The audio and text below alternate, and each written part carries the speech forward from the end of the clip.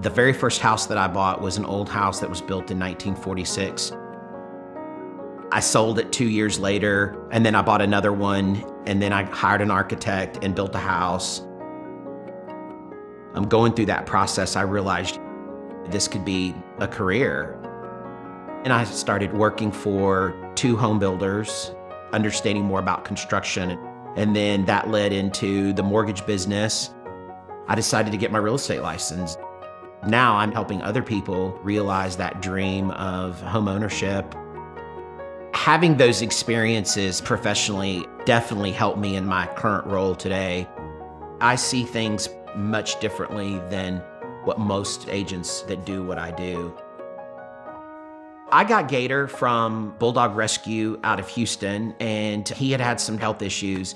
He's had his eyes fixed, he's had his nose fixed so that he could breathe better. And I thought to myself, how could somebody just give up this dog or, or any dog?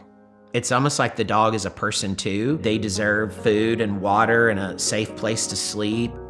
I feel the need to help if I can.